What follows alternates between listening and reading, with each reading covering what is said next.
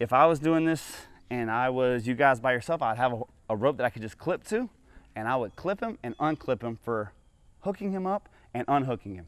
If you do this, this is the safest out of all the mentors that I've had and all things, methods that I've learned, this is the safest way that I've seen to get your riding horse that's a bit sensitive driving a cart. And you do it in a relatively quick amount of time. In a matter of this guy probably has probably four sessions, five sessions prior to this session and drove like a champ. But he already knows how to go forward. He already knows how to give left and right. He already knows how to stop.